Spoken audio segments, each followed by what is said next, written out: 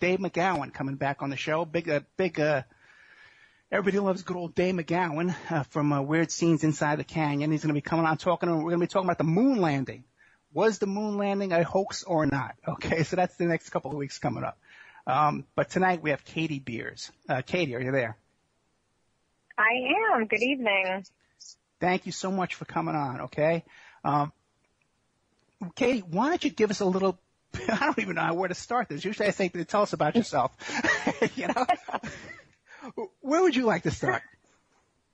Oh well, um, I mean, I guess the most intriguing part of my story is when I was about two days before my 10th birthday, I was, as you said, abducted by a family friend. Um, somebody, he had built an underground dungeon specifically for kidnapping me and held me captive for 17 horrendous days. Prior to that, um, prior to the abduction, I my life was horrible. There also, I lived um, in a neglectful home with uh, my godmother and her husband physically and mentally abusing me daily, and her husband, my godmother's husband, um, sexually abusing and raping me um, from the time that I was two until I was kidnapped.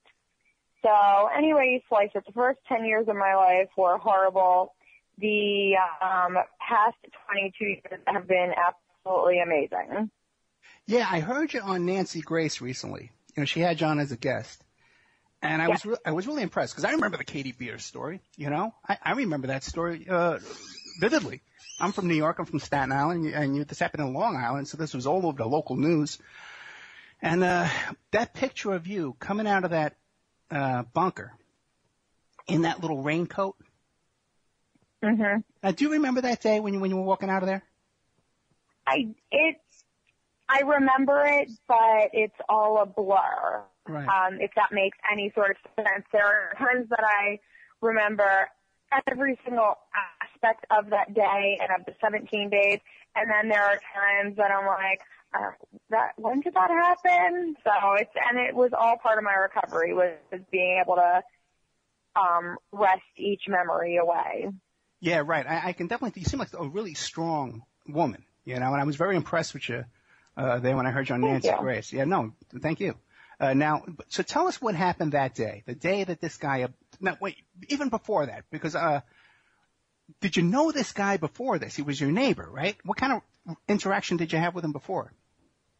He was um, John Esposito was a family friend, um, somebody that I remember being in my life from almost day one. Um, he he, uh, he had lied to my biological mother and said that he was a part of the Big Brother Big Sister program. Right. And back, you know, in the late 80s, early 90s, who the heck checks that? You take everybody at face value. You say you're a good guy, you're a good guy. And um, my biological mother, not knowing any better, um, she accepted this word at face value.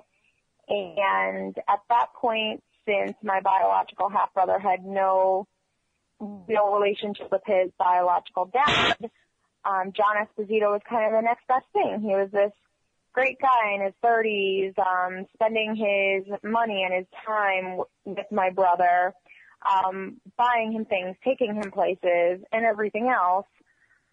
Um, How so for old is your me, growing up, um, my brother is six and a half years older than me. Okay. So it, like I said, from the time as early as I remember, I remember John Esposito being in my life, and there would be times as I got older.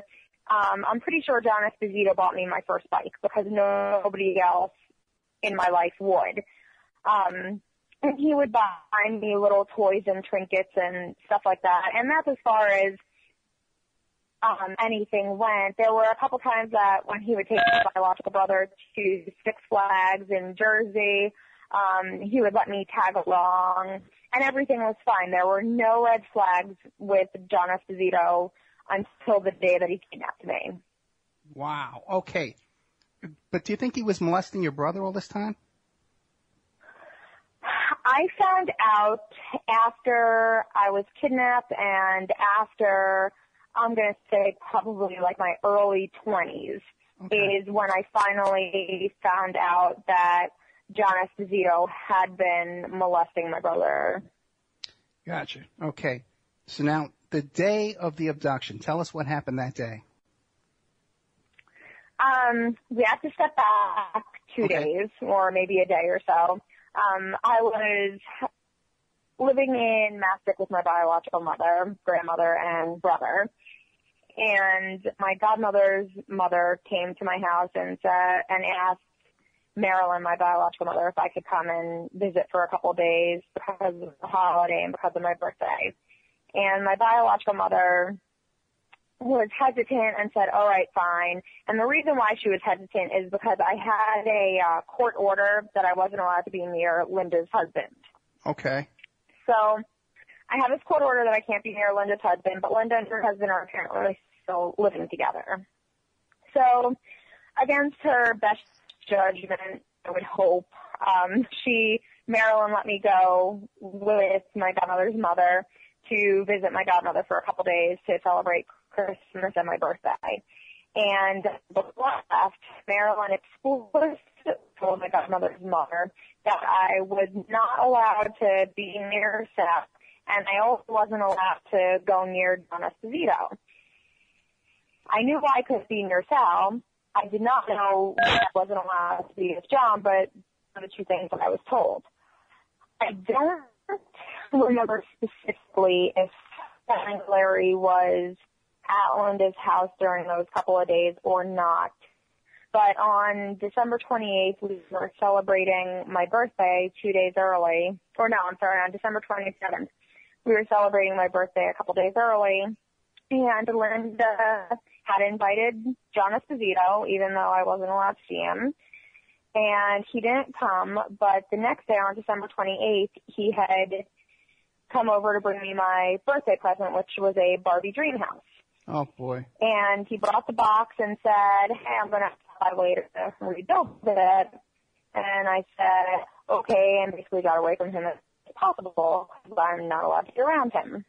And, um, so he, he then called Linda and asked Linda Larry, my godmother, if he can take me to Spaceplex, which was an indoor arcade for kids.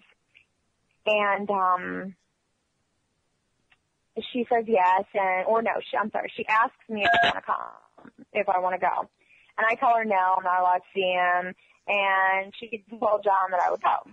So lo and behold, I'm not allowed to see him, but I'm gonna go with him. He comes by to the house later on in the afternoon, and I remember telling Linda that I didn't want to go. I didn't feel comfortable going. I wasn't allowed to go. And she reassured me, it'll just be a you'll be home in a little while. It's okay. So she basically shoved me out the door with him. So it was just and you and him. We, just you and him. It was me and him. Yep. Which I will say was not something that hadn't happened in the past.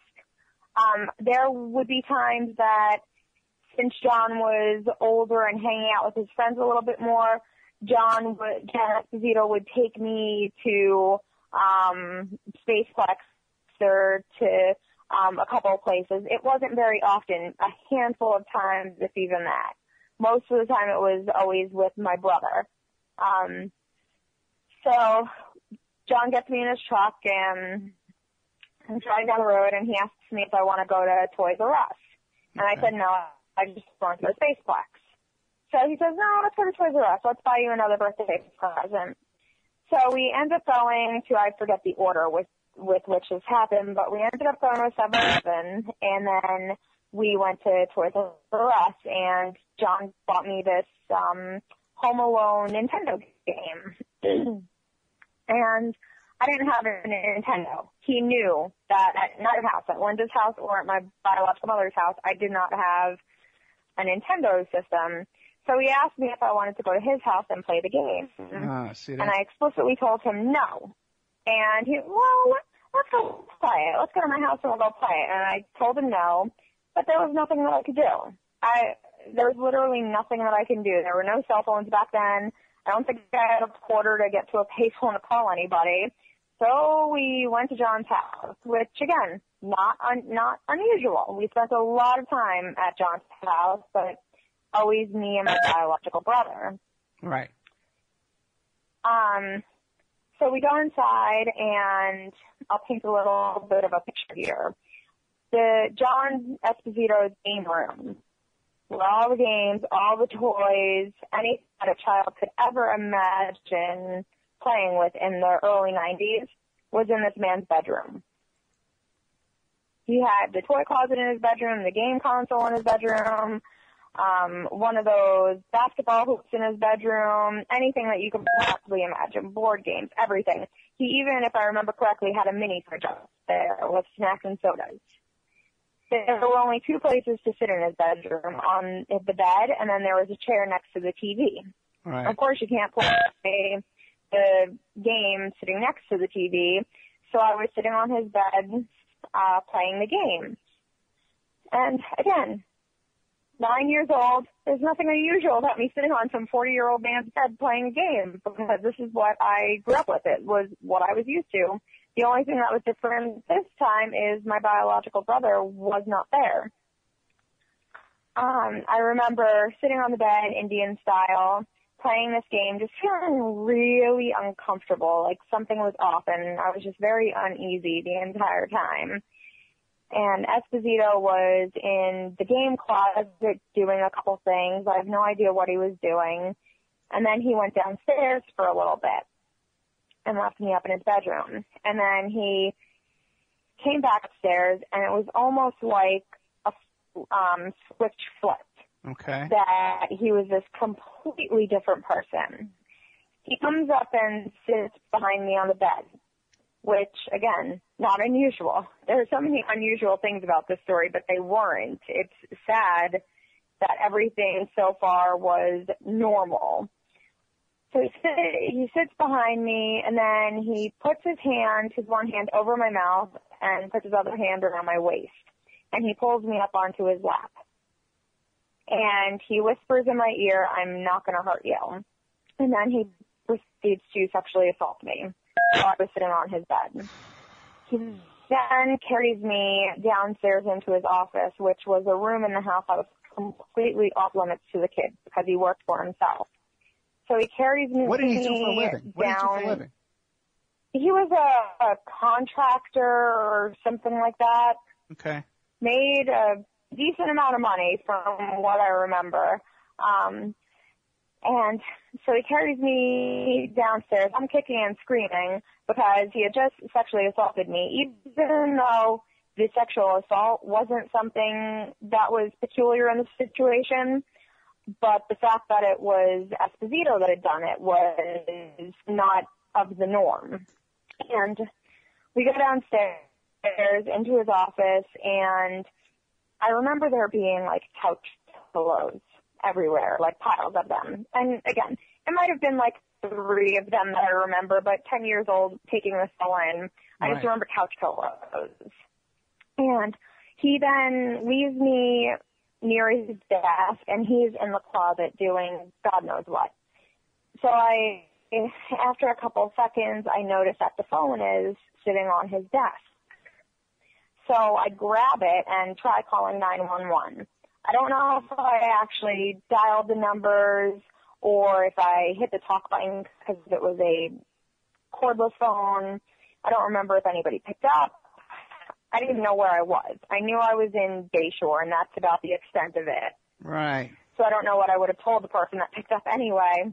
But I remember then looking up and seeing John's legs there. He reaches down, grabs the phone from my hand and throws it on his desk back in the cradle. And then he picks me up and tosses me into the closet. How much And did you at, hit- at, at that age? How much did you weigh? Mm, 40 pounds maybe. Really? That's tiny. Ten years I, old. from Yeah. what I remember, like I was so malnourished. Um, I really, I really don't think I weighed that much. And how tall I would say 50 pounds would be stressing it. How, and, wh- How tall was I? Yeah. I maybe four foot. Okay, and what grade were you in? Uh, fourth. Fourth grade. Oh my God. Oh, okay, I can picture this. grade. Because my kid right now, she's in eighth grade, but I can remember third and fourth grade like it was yesterday. You know, time goes so fast. So I could, I could just imagine a kid, like you said, 40, 50 pounds like that, you know, four foot tall. Okay, and were you Yeah. involved in sports or anything like that, or any kind of uh, activities or anything? No, I was involved in nothing. I hardly ever attended school growing up because if I was in school or doing anything else, I wouldn't be able to do Sal and Linda Engleri's errands. Okay. So I basically, I didn't attend school. I was a truant child. Nothing. What about friends? Did you have little friends, girlfriends? Um, I had, I remember I had like two or three, maybe four friends in the neighborhood. One of them was a next door neighbor. Um, the other one lived down the road from me, but Sal Ingleary, sorry, Sal, Sal ruined that relationship for me and that friendship because he exposed himself to this little girl, so she was no longer allowed to play with me. Um, Did, did her parents, did her parents call, other- call the cops about that?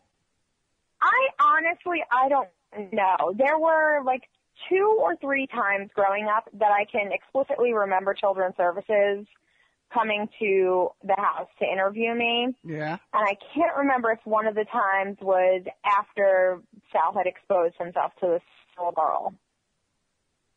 But the cops never came. Not that I remember. This guy, Sal Inglesary, now that's your stepfather? Who was that? He, Sal Angelari was my, at that time, my godmother's husband. The godmother's So husband. he was a caretaker of me. Now- Now, how come you were so involved with your godmother and her husband? Uh, because at the age of either like three months old, um, this, there are two differing stories and they differ so greatly. Okay. Um, when I was a couple months old, apparently my biological mother had gotten a migraine. And she asked my godmother, who was a close family friend, to babysit me for a couple hours. And the story that Marilyn tells is that when she tried to go pick me up a couple hours later, Linda wouldn't let her have me. Okay. So Marilyn just left. Um, the story that Linda told me growing up is that basically Marilyn abandoned me. And I didn't know what story to believe because the only caretaker that I really remember having, um, the only constant caretaker was Linda Larry. Linda Iglinari was the, the, the godmother.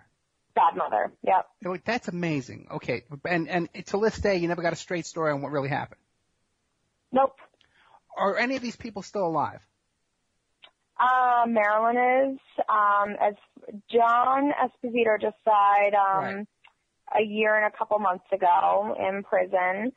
And, um, Sal Angelari died in, I believe, 2009 because I was pregnant with my son. And Linda, I have no idea what became of her and I really don't, that doesn't affect me. Well, yeah, yeah, but you got to think, man, they, they might still be out there involved in this, the same kind of craziness, you know? Yeah, I don't, I don't, I would hope Linda wouldn't have been, although, you know, in all the media that my story received, Yeah. all of the media basically made Linda look like a saint for taking me in and everything else. The media, um, never went over the abuse that I had sustained by Linda and Linda was never prosecuted for um, the physical abuse or even the neglect from her. Uh, Lin- Linda's the one that let you go with the uh, Esposito? Yes. Okay. Wow. Okay. No, let, let, let, I know, man. Is, but you're right. Back in those days, it was it was a different world. You know, Yeah. because I can't imagine my kid at 10 years old. I think she'd be fighting, you know, and and fighting and, and uh, I it, like when she when she had that uneasy feeling, I think she would have ran out of there. You know, uh, because kids today Yeah. they're just exposed to so much more. But I, I was, I'm 52 years old, so I know, I know what you're talking about. It was a different world back in those days. Oh my God. Yeah. Okay. Now you're in this room. You're about 50, 40, 50 pounds, four feet tall. This guy's picking you up and throwing you now. It throws you in the closet? Yep. Okay. He tossed me in the closet and my back hit um an exposed wall of nails. Oh my God. And so I'm crying because of the pain of my back hitting these nails and I'm crying because what the hell is going on? like Yeah. what is going on? Um and I just remember hiding my head in my hands and praying that this was all just a dream and that I'd wake up at any time. And the next thing that I remember is Esposito telling me to crawl down this downward shaft. And I told him no. And so he picked me up and just dropped me vertically down this shaft and then told me to crawl. And again, I said no. And he climbed down behind me, and then I basically I had nowhere to go. Was I it, wait, was it dark I down there? Was- followed- Was there a light? I don't remember there being a light.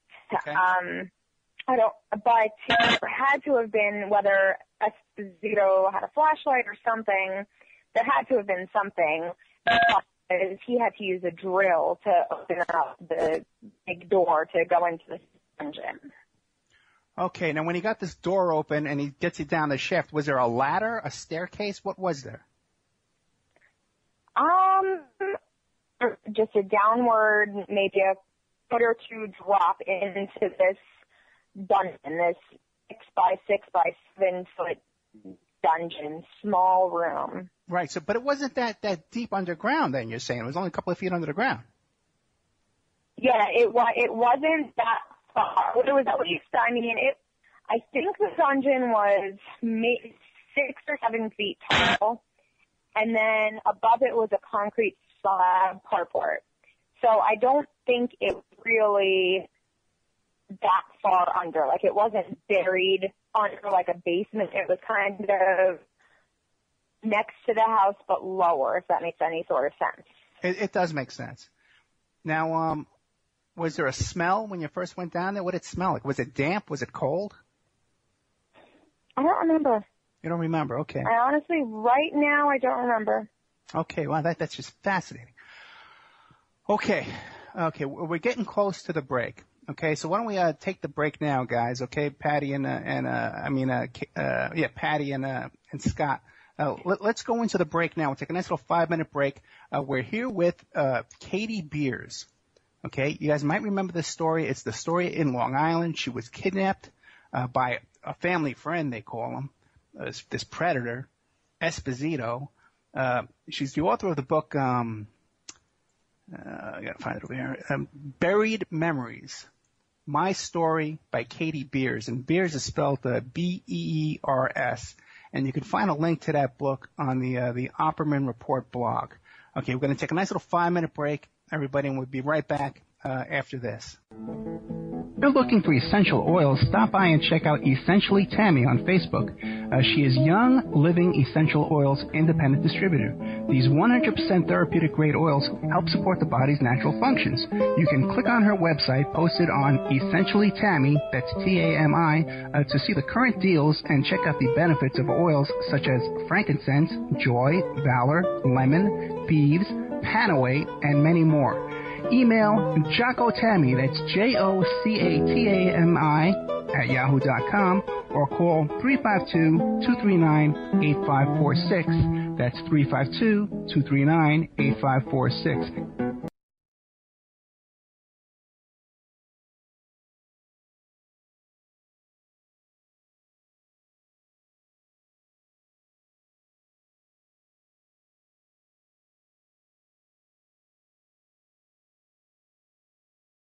West Bamboo, your number one source for timber, construction, and craft grade bamboo poles, plants, products, and more.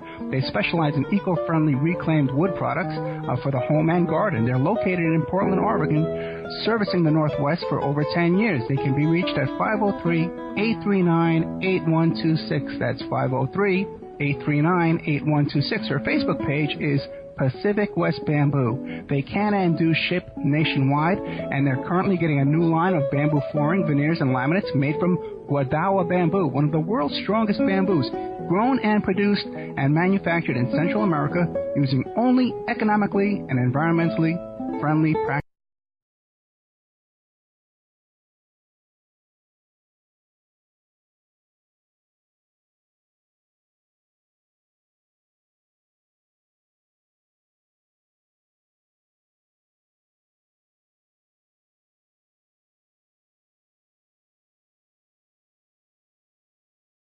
Plans, 2D digital drawings, uh, 3D models, renderings, and more.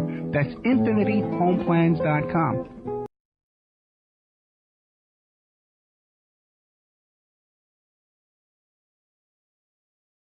Get emailrevealer.com. That's my website, emailrevealer.com. And we offer all different kinds of services. Uh, current place of employment locate. Let's say you're trying to locate where your ex-husband or your ex-wife is uh, is working so you can collect on child support. You contact us, we can locate their place of employment for you and help you collect on that child support. Uh, let's say you think that your husband or your wife is cheating on you. Give us their email address and we can trace it back to online dating uh, websites and uh, dating services. Uh, so we have a multitude of services services on emailrevealer.com.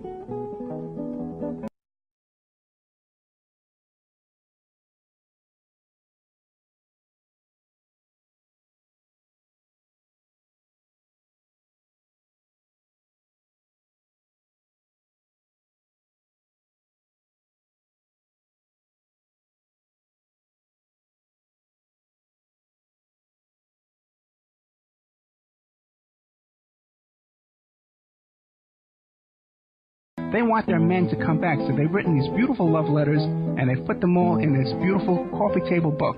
Uh, first, the letters are written in Spanish, handwritten. You can see pictures of the people writing the books, and then it comes on after that, and it's typewritten in English. Uh, and then also, too, uh, the the second half of the book is teaching you how to make authentic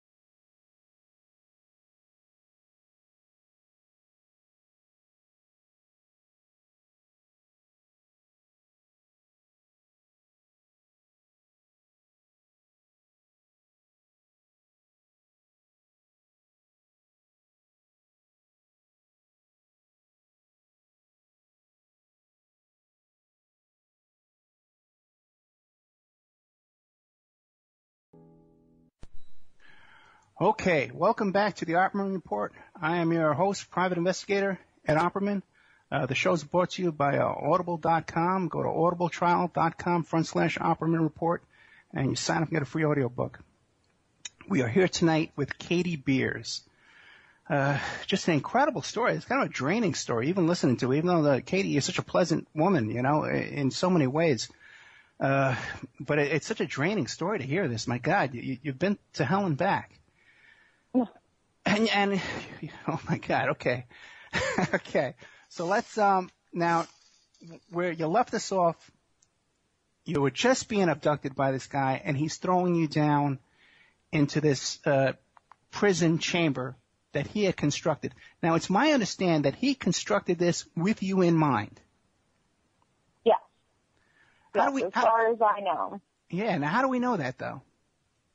Um, he had told, I guess his lawyer that he had built it specifically for me at one point, and then at another point, he told people that he built it as a bomb shelter.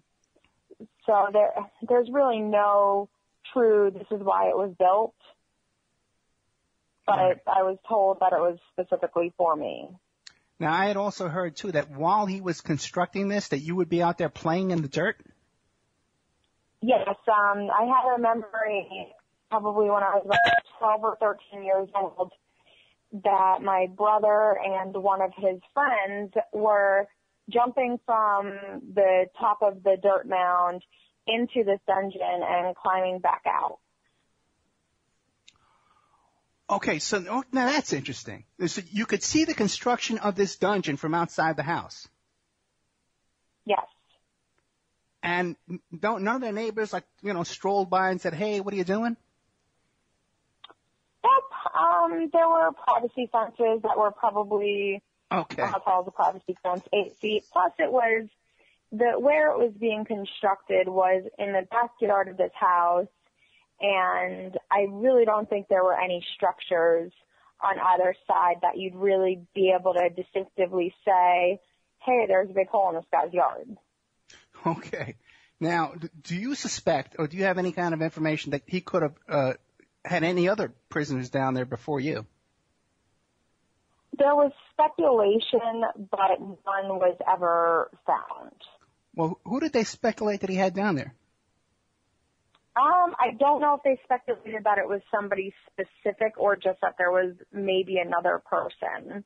But Esposito had tried in the 70s to kidnap a little boy. And um, obviously didn't go as planned for him. And was he arrested for that? I don't think he was arrested. He was questioned, and he talked his way out of it, saying that he thought the little boy needed a ride home. Okay, so now you left this off where he was uh, shoving you down to this chamber. Now you had to be uh, beyond terrified at that point. Oh gosh, yes. I, like I said, I had no idea what was going on. This was all just completely frightening. Um, Esposito was a family friend. He's somebody that I'd known all my life that wouldn't hurt a fly.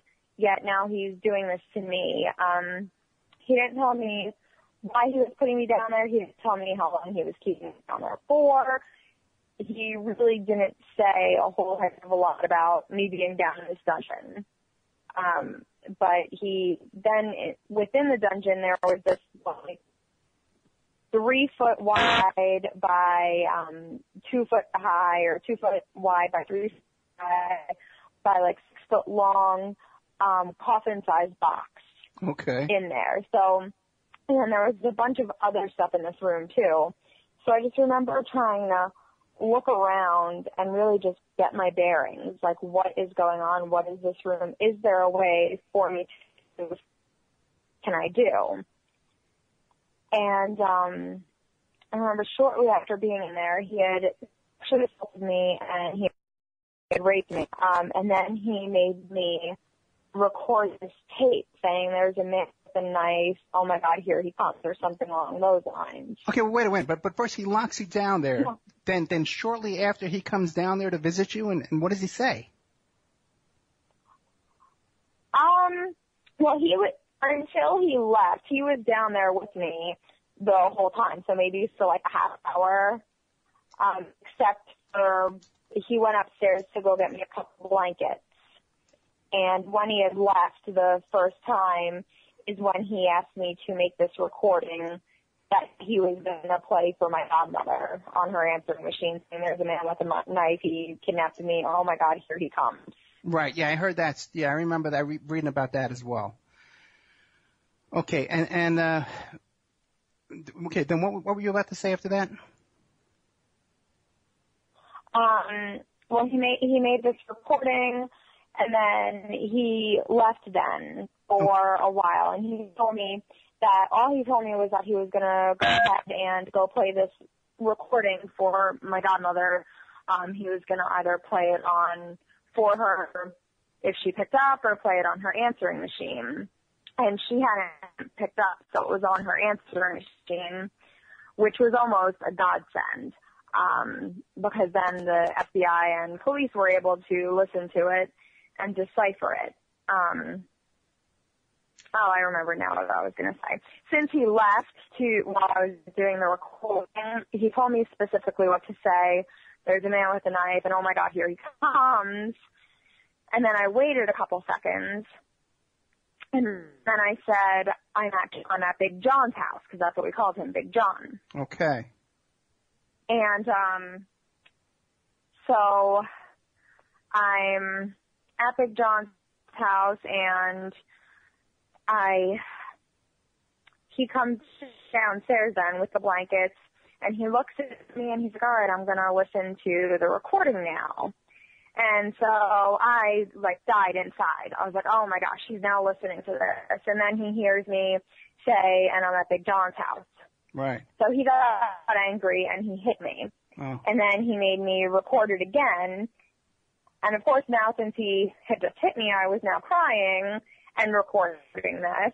Um, so in his mind, it sounded really genuine. I was really scared. And um, he left then for, God, what seemed like hours.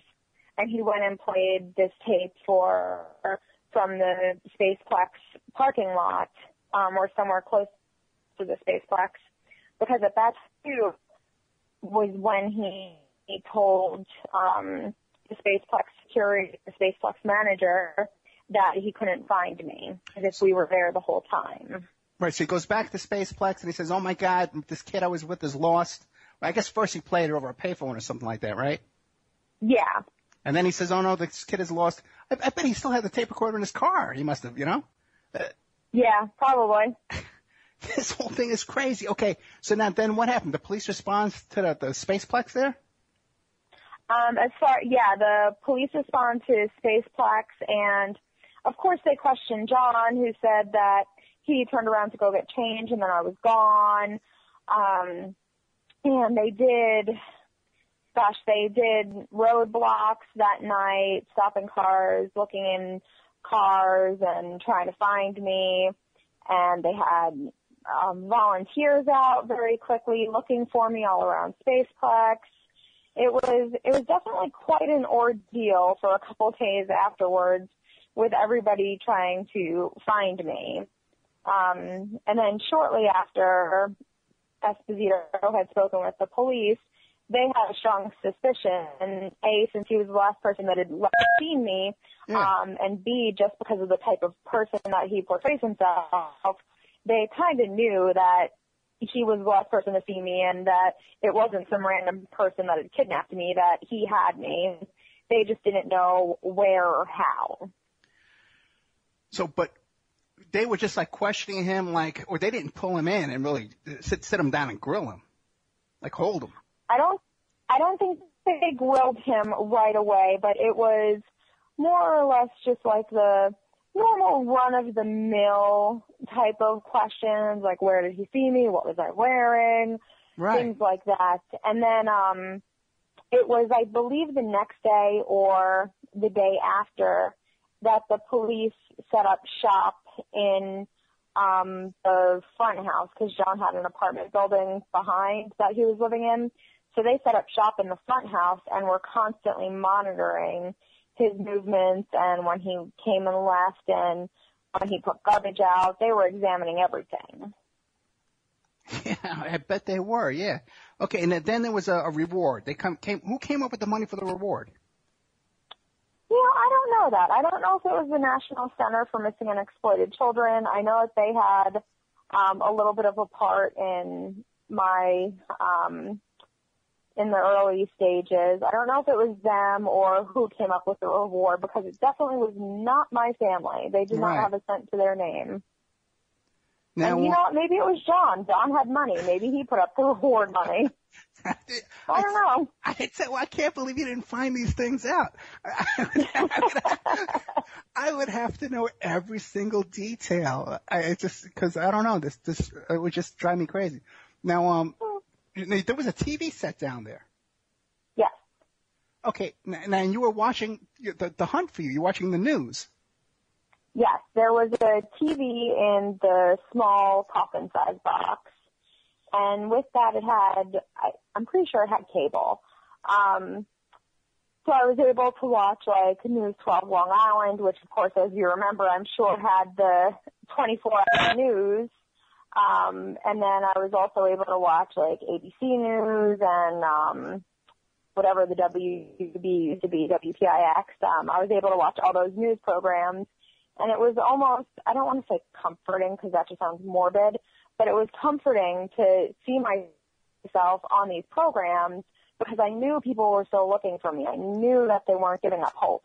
Oh And yeah, that had, that to, that, that had to be a huge relief. That had to be a huge Yeah. relief. Yeah. Oh my God, because you, you, you're in the. Now, now, was it dark down there, or did you have a light, or the, just a light from the TV? Just the light from the TV and the smaller um, coffin-sized box. Okay, then did you have a bed at all? Did I have a bed? Yeah.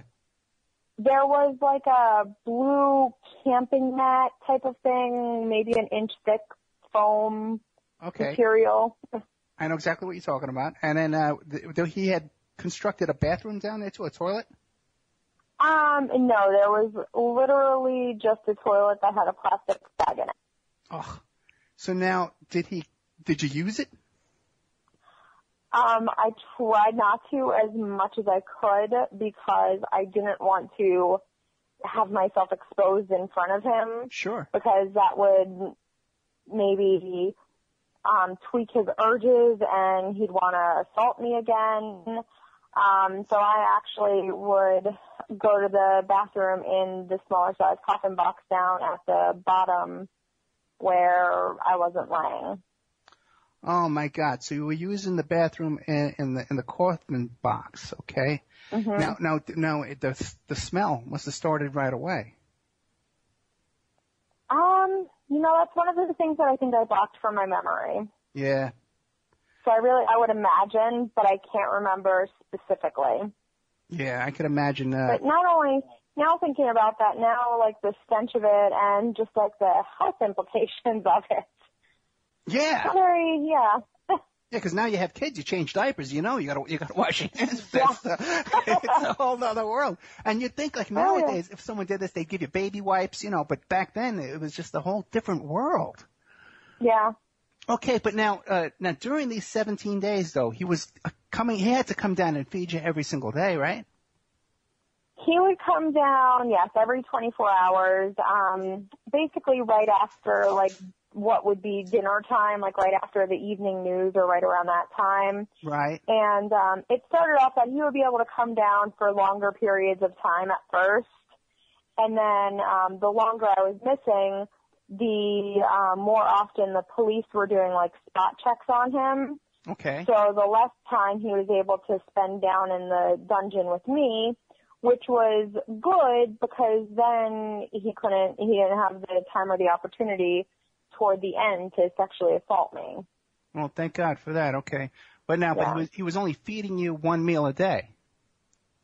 Um, yeah, and he would bring down like junk food, um, pudding, candy, soda, anything that you can imagine that would be bad for a 10 year old girl is what I was eating on a daily basis. Um, there were times that he would bring me like a Wendy's cheeseburger or something like that, or he would make me a sandwich. And anything that was not prepackaged, I would not eat because I was afraid he would put something into the food. So anything that he made himself or that he could easily open and repackage, I didn't touch. Really? Even though you must have been starving. Yeah, I know, not a chance. Now, what about water? Did you have water? Um, the only thing I remember him bringing down were cans of soda. Oh my God. What was this guy thinking? He had a job and stuff like that, but he was completely insane? Yeah, there he. I mean, pedophile. He was a straight up pedophile that only had one thing on his mind. But for the 17 days that he had me abducted, he was still during the day living his normal life, going to work and doing whatever he would do on a on a normal day. And, and for those whole 17 days, was he abusing you every single day? I would say a good portion. More, Really? more often than not. Yeah. Really? Because you would think, with all the pressure of the cops being outside and all the. Did he seem nervous when he came down to see you? Sometimes yes, sometimes no. He was, he had to have been um, suffering from bipolar schizophrenia, or there was something just not right because one time he would come down and he would be happy go lucky. How are you? We're going to get you out of here soon. And then the next day he would be like savage rapist. Um, it was just, I ne- from day to day, I had no idea which John personality I was going to get. Every day was completely different. But you, you could watch it. Did you talk to him about what you were singing on the news? Um, I would talk to him. I would tell him that my mom missed me. I would tell him that my brother and grandmother missed me. Um, I would tell him that I wanted to go home. I would ask him how long he would keep he was keeping me for. I would ask him. Um, I would try to um, sympathize with him. I would try to make him angry. I would try to be really, really nice. I would try to get him to think about my future. Anything to just get some sort of reaction out of him. And of course, it was never the reaction that I wanted. He always had an answer for everything. Um, like when I would say my biological mom missed me, he would say, well, she hasn't been around for the past 10 years, so why does she miss you now? Why didn't she miss you before? Um, or I would ask him, I would say, I want to go to school. I really want to go to school. How am I going to learn? And his response would be, well, I'll teach you what you need to know. So then I'd tell him that I want to learn how to drive a car and I want to work and he would tell me that he would teach me to drive and that he had enough money for both of us so I would never have to work. And then I told him, okay, well, I want to get married and have kids. And mind you, I'm 10. He Yeah. was like 40, 43. And he told me that when it was time and I was ready, that he would marry me and he would have children with me. And now, when he would say something like the, that to you, like what did you say? And and what? And the kids will live down here in, the, in the, this dungeon with me? Yeah, I, um, Like you must have been honestly, confused. I just yeah. got turned off and shut up. Yeah, oh, I could like, imagine. oh. Yeah, I could, I could imagine. Yeah. Okay. Yeah. I remember one time I told him that I didn't want that and that upset him. So he, he had to have realized shortly after he started this plan that it wasn't going as planned. Because the cops were right at his front door. Yeah. But he still had this fantasy that somehow he was going to keep you as his slave down there uh, Mhm. for years to come. Well, his fantasy was that the police would stop looking for me, Marilyn would stop looking for me, everybody would stop looking for me, and I'd go back up to the surface and live as his wife or something along those lines. Like he just had this fantasy worked up that we were gonna live happily ever after. Really, because now, but it seems like his previous interest was in boys, though. What? But what, was he ever married or had a girlfriend before this craziness? As far as I know, no. Um, and yeah, I mean, the kid that he tried kidnapping in the 70s was a little boy. Um, and then I know for a fact that he had molested my biological brother. I don't know if he um, sexually assaulted any of my brother's friends or anything like that or anybody else. Um, but yeah, he had an interest in the little boys. And then when John got too old, his interest turned to me when my brother John got too old, um, Esposito's interest turned toward me. So I don't know if it was just straight up pedophilia, young child, because it seemed indiscriminate. Yeah, and I, okay. Because yeah, it just can't seem like, I don't want to get too far ahead of, of the story. Okay, is there anything you want to tell us about while you were still down there before you got out? Um, John offered to pay me for the time that I was down there. um, I forget how much it was, but at some point he came up with a pay scale. Um, every day that I was down there, he- from X day on, he was gonna give me either a hundred dollars or fifty dollars or something. But I remember when I came out of the dungeon, I think I had a hundred dollars. Okay, wait a second. up. So he was actually paying, wait, he was actually, He was actually giving you money. paying me. Yeah. Wait a second. Now whose idea was that? Definitely is, yeah. Yeah, I, he was trying to make me feel better about myself. I think I don't know. Like, was I supposed to feel like tournament or was me earning my keep? I I don't know, but yeah, came out with five hundred dollars. Okay, but the thing is, now you're a ten year old kid. ten year old kid. And I know you're a ten year old kid, and he is giving you money, and you know, because you do adapt to any situation you're in, especially when you're younger. Yeah. But in life, you know, you get thrown in a maximum security prison, you're, you're adapting in a couple of weeks later, you know. So you're down in this dungeon, which is, is surreal to begin with. But now he, he comes up with this plan. Listen, I want to start to pay. I want to put you on a payroll. yeah. You know, it would be it would be really bad if he paid you by a check and said, "Somewhere, I'll cash your checks for you in the future. Hang on to these checks, I'll cash them for you." But he's actually giving. It's this is I can't believe we're laughing about this, but he gives you cash now. As this ten year old little girl, are you kind of getting the cash and saying, well, he's a you're like counting it, you know, and, and checking it out? You must have been. I remember it was under my pillow. I had a pillow in oh, there, and I God. put it under my pillow because really, where else? Where else am I going to put it? Um, I didn't even have a sock to put it in.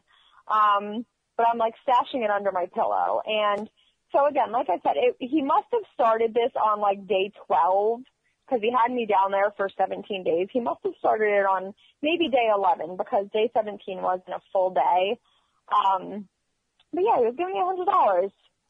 I mean, I came when I was about, I think I finally got the money when I was about 16, 15 or 16. So you know what? I went out and I closed with it. it was confiscated. Oh my, this is just. Can't make this kind of stuff up. Hey, by the way, now there was a movie. They made a movie, right? It was a very bizarre movie, uh, where this girl, she didn't pick up her kid after dance, she didn't pick up her little sister after dance practice because she was jealous of her, and the neighbor kidnapped her and put her in a dungeon. Did you ever see that movie? No, I don't think so. I was trying to think of the name of it. I'll find it. I'll send you the link if I come up with it. It was sort of like a weird, uh, dark comedy type of movie. And uh, the neighbor fell in love with this little girl next door, and he, he kidnapped her and then put her in this dungeon. They didn't show her in the dungeon or anything like that, uh, but uh, it had based sort of on this because I don't think there's any other stories of little ten year old girls. Uh, no. No. I, God, I I would hope not. I would hope not too. Okay. My God. But the thing about the money is just so bizarre. This man's thinking, and then you don't get the money till yeah. you're 16 and what was that day like? How'd you get it in the mail? Um, no, I think somebody brought it to my house. I think because it was still, if I remember correctly, it was still in evidence that that my were cut open. okay. Um, people in the chat room are saying about what an inspiration you are because you're so and you seem to have amazingly healed. And I, I totally have to agree with that. This is just unbelievable. Because you know, I like to make jokes during my interviews, and I was, and I was saying, hey, I dug up this guest this week, you know, Katie Pierce. I was it's afraid. gonna be the straight-laced interview you've ever had. yeah, I was... But no, I, you know, I can't help but not joke around about it, but I can't help but to have um, an upbeat perspective on it because I'm not letting the jerks in my childhood, I'm not letting them define who I am. I'm not letting them control my life. Right. And to me, that's, that's the biggest win for me is that I was able to overcome everything and I was able to heal. I was able to trust men. I was able to have children, get married, have a job. Um, so I'm not letting them win. Right, and I noticed from from your interviews and a little stuff I watched and online and stuff like that, you really are one of those dedicated mothers. You know that really, really uh, throws her whole heart into it, and I, and I, I respect that so much. That that's such a uh, an admirable quality uh, that I see uh, as a as a mother that really enjoys being a mom. You know, uh, how old are your kids so. now? Um, Logan is five and a half, and Haley is three and a half. Five and a half and three and a half. Oh my God. Mm-hmm. Okay. Now we're getting close. You know, yeah, we're getting really close to the break. Let's take the break. We're here with Katie Beers, uh, one uh, uh, uh, an inspiration, and even one of the chatters is saying Katie is a hero, and you, you really are. Uh, I can only imagine the, the strength, because you know, like, it's such a tender age, ten years old, you know, to be going through all this. Uh, but uh, where Katie Beers, her book is uh, Buried Memories, My Story, and then it's updated edition. And it's, it's the, the black covered book. And, uh, oh my God, it has this little, uh, uh, tragic picture of this little girl in this little white, uh, nightgown lying on the floor in the dark there. But you weren't wearing that. You had clothes, right? You wore the clothes you were wearing that day. You didn't get to change your clothes at all, did you? Um, I bel Esposito brought me down like boys sweatpants and underwear and t-shirt after a couple days. I think actually he had a nightgown down there for me. Um, and after that got too gross for me to wear for too long, he Ugh. brought me down, I guess, a spare set of clothes that he had for one of the little boys that used to stay at his house. I don't know where they came from, but that's what I ended up being rescued in. Okay, yeah, interesting that he had little boys' clothes and lying around his house. Okay, so we're here with, with Katie Beers, the author of Buried Memories, My Story, updated uh, edition. That's the newest one. It's coming out uh, in April 2015. Um, and you can get the link is on my uh, uh, blog, the Opperman Report. Um, and we'll be right back after this uh, these uh, commercial break here. Uh, back with more of Katie Beers.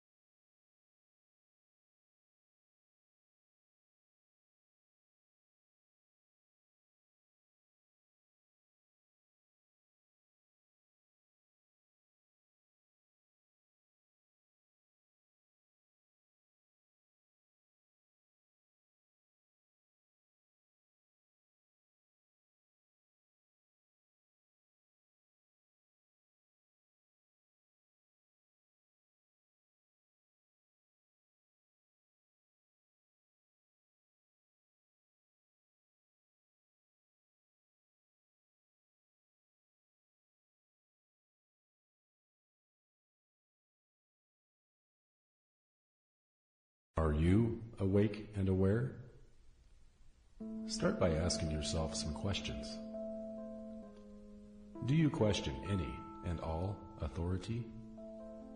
This is not necessarily a bad thing. Do you question laws being put into place each and every day? And who really believes that any one man or woman should have the supposed power to do so? Do you question that your vote actually counts on election day? Because really, most all of those running are related by bloodline, just as British rule.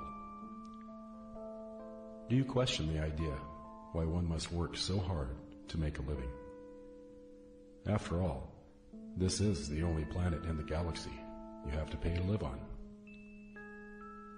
If you have answered yes to any or all of these questions, you are awake and aware, or at least well on your way to becoming so.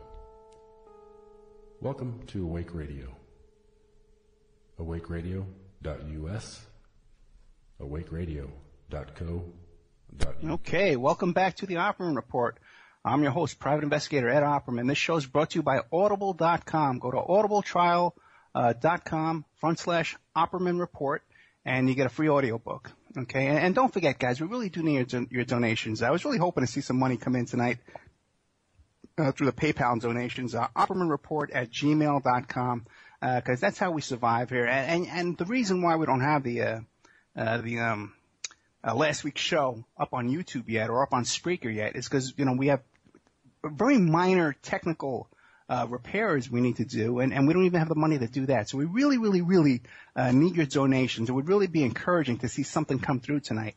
Uh, so we don't feel like we're doing this for nothing. okay. So good old PayPal donation. Okay. It's your, your good friend here, uh, Ed Opperman trying to help you out every, every Friday night. Uh, we are on here tonight with Katie Beers. Okay, it was just uh, everyone's loving you in the chat room, uh, calling you here and stuff like this. Uh, she's author of the book uh, Buried Memories, uh, My Story, updated edition. Okay, and then you can get a link to that on the Opperman Report blog. Do you remember where we left off, uh, Katie? Oh, we were talking about my the money that Yeah. Esposito had paid me. I know, yeah. But now, so we're getting to the point though, uh, you know, it must have felt like a months, you know. Now, did you have Yeah. any inkling that you were about to get freed?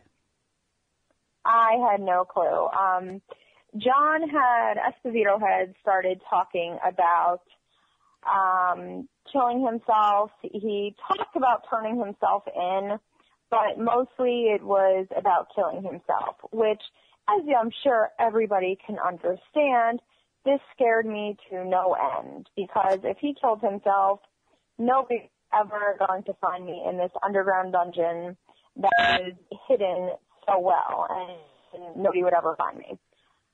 So, yeah. Well, let me ask you this: when, when you were down there, could you hear anybody walking around upstairs or, or voices or anything? There was one time where I thought that I heard people upstairs. And um so I screamed and yelled and was banging on the ceiling. And that was very, very early on in my abduction, maybe a couple da- a couple days in. And um after that, Esposito had actually he I guess had heard me. Right. Um, and at that time, he decided, yeah, he can't have this. So there was a chain in the dungeon, in the coffin-sized box, that was right about where my head would have been. So he put the chain around my neck and padlocked it. So that if a situation like that ever happened again, that I wouldn't be able to bang on the ceiling of this dungeon. But now before everybody freaks out that I'm chained by my neck, Right. um, I actually, a day or so prior to this even happening, Esposito had left me alone to walk around in the dungeon for a couple minutes. I had convinced him to, Yeah. um, because I had spilled a soda or something on my blanket, so the blanket was wet and I needed a new one. Um, so he was going to lock me back in the coffin box, and I was like, no, just let me walk around for a couple minutes. You're going to be back down. So he walk around this coffin size box. So as soon as I knew he was out of there, I started around for anything that I could find that would help get the heck out of this box. And one of the things that I found was on one of the shelves were a bunch of keys, loose keys. So I grabbed one or two of them and put them under my pillow. I had no clue what they were for because the padlock wasn't on the chain at that point, just the chain was there. Yeah. So I had no clue what these keys were for, but I knew somehow they were going to help me at some point. So after he chained my neck, I um, remembered that I had had those keys under there. So I grabbed one of them and um, it worked. It unlocked the padlock. So I was able to unlock myself. So I was still able to move around. Otherwise, I would have not been able to move. I would have had to um, relieve myself right where I was lying instead of at least at the bottom of this coffin size box. Um, and then I would hear, luckily I would hear the drill when he would come back down. So I had a couple of seconds before um, I knew he would be in there. So I was able to get myself locked back up. So wait a second. Now this happened. He, he started putting the chain around your neck. How early on, and how many days in? Only a couple days because I remember it was so early on because I heard the police upstairs. Right. So I'm going to say maybe less than five days in, if even that generous. It was a couple days in. But he thought the whole 17 days that he had you down there chained by your neck. Yeah. Wow. Okay. Anything else you want to tell us about while you were down there? Um, goodness gracious. I don't, I don't think so. Okay, so then you get out. What, how that, what happened now? What- Why did, why did you get out? How did he, he led them to this chamber? Um, I think Esposito had finally kind of had enough um, of the torture and the torment of the police constantly at his house and surveillancing him and me asking him questions. I think it was just finally his breaking point. And you know what? Thank God that was his breaking point and not him committing suicide. Yeah, thank God for Um, that. Can you imagine? Yeah. Yeah. Although he assured me that in his safe that he had a directions as to how to find me, which my question is, is if the directions truly existed, why were they not found during one of the two or three times that the police searched his home? That's always been my question. Just throwing that out there. Right, but, Um, but the only, but the only one who told you that he had these directions was, was him. He was probably lying you. him, yeah. Yeah. Yeah. Um, so finally he decided to tell his lawyer, not even the police, he went to his lawyer and told his lawyer that he had had me. And before his lawyer even called the police, at least from my understanding of the whole situation, before his lawyer called the police to alert them that they knew where I was and who had me, they called the DA and struck a plea deal while I was still being held captive, chained by my neck. They were striking a plea deal. Otherwise, Esposito wouldn't ever tell where I was. Well, yeah, listen, when you're out now, okay, I'd be complaining too, you know. But the thing is, you know, like, thank God, you know, that he, made the deal and got you out, you know, he told where you Yeah. were. Exactly. So he comes down into the dungeon in the middle of the day. Right. He never would come down in the middle of the day. I though I don't remember him ever coming down in the middle of the day. So he comes down and I'm freaking out, like, what the heck's going on? Why is he down here in the middle of the day? And then I hear him talking to somebody. Right. And I I have no idea who he's talking to, what he's talking about, but I know if there's somebody else down there. So I was like, oh my god, he brought somebody down here to molest me or something. Like Right. all these thoughts running through my head. And he opens up the door and there are these two men down there. I believe that they were in suits. And um they tell me that I'm safe now and I could go with them. And I didn't I didn't move because after all of the questions that I had asked John for the past 17 days, I was like, you know, what if he's playing this little twisted game with me? Like, oh, what? How's she gonna react if she thinks she's free? Right. So I just stayed there. I didn't move. And then they told they again told me that I was free and I was gonna I, I was out and I could go upstairs. So I grabbed all my worldly possessions from this dungeon, which Mm. were my clothes that I had worn down there and my five hundred dollars. And I ran upstairs as quickly as I could, as quickly as I could crawl through the tunnel and climb up there. And they, they, there was one or two people up there that were helping me out. And if I remember correctly, it was all men. Right. Oh, oh man, I don't think there was another scene. There might have been, but I don't remember. Um, so we go and we sit in the living room. And I'm sitting either next to or caddy corner or across from John Esposito, the man that had just held me captive for 17 days. I'm in the same room with him. So still, I, I wasn't at ease. I, I was still in the back of my head. What is the police up looking for me? And these are John's friends Right. that have me now. Um, so just nothing really right, even though they were telling me we're the police, you're safe, blah blah what blah What about your blah mother, your mother, or your godmother, and no friendly face that you knew was there? No, no friendly face that I knew of that was there. Um, so then apparently, I don't remember this, um, but apparently I either told Esposito that everything was going to be okay, or that I loved him, or something like that. Um, and I gave him a hug. I don't remember any of this, but I was told by several people that were there that that did happen. And I'm like, A, why the heck did these people let that happen? Yeah, right. And B, B, was I still trying to protect myself as if these people weren't the police? Like, I, I don't know. Um, I don't really, I've blocked that portion of my, um, recovery uh, off of my, um, release out of my head because it's just unfathomable to me that I sat in the same room with this man, even if it was for three seconds. yeah, right. Without screaming and stuff. They should have yeah. had him or me out first. Um, but so then they brought me to an unmarked police car, and so I'm sitting in the back seat in that blue, infamous blue jacket. Yeah. Where'd you get that from? Uh, one of the police officers, one of the detectives. They- And I remember whoever was sitting in the back seat with me told me to get ready, brace myself, and smile. Get out of here. And yeah, and so I'm sitting in the back seat. I'm like, what the hell is going on? What uh, what's happening? And then they open up. Esposito had these really tall gates to his driveway, yeah. just like privacy gates. And they open up, and there is just a sea of reporters. Now, who I don't know who tipped off the reporters, if the reporters were tipped off, or if that was the normal.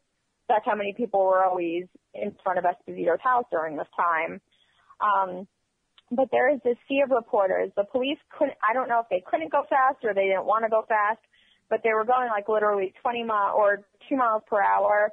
And I remember just somebody running alongside of the car, snapping pictures of me. And were, were you uh, Um, embarrassed? You must have been embarrassed, right? Things- Um, I don't really know. Like I was, I I felt dirty because I hadn't showered in 17 days. I was literally sitting in my own filth for Right. 17 long days. Um, and I had no idea what was happening. I didn't know where I was going. Nobody was telling me anything. Just to sit there and look pretty and smile, basically. I don't think anybody said look pretty, but they told me to smile and wave. Um, so then it was in the police car that I um that somebody asked me if I was okay and I looked at them and I showed them the five hundred dollars yeah. and I was like, Can you tell me if this is real? And they looked at me and they were like, Where did you get this from? And I was like, Oh, um, John gave it to me and then they took it. They confiscated it. I bet it was more than 500. You only got Yeah. back 500. It's probably 5,000. like that was my money. Um, but yeah, so then they, the police bring me to one of the police, um, precincts on Long Island. I'm not quite sure which one it was. And, um, they bring me in the back way and they bring me into a basement room, a concrete cinder block room, Oh is where they have to bring me to ask me questions or interrogate me because that is what it felt like. Um, I was still sitting, I believe, in the same clothes. Maybe they brought me new clothes. I don't remember that. But um, I hadn't eaten in 17 days, and they brought me something from a vending machine, Oh my which God. is basically what I had been eating for the past 17 days. Again, what year was Um, this? What year was this? 93. 1993. Okay, it wasn't the Stone Ages. You know? like they couldn't bring you to a hospital? They didn't bring you to a hospital first.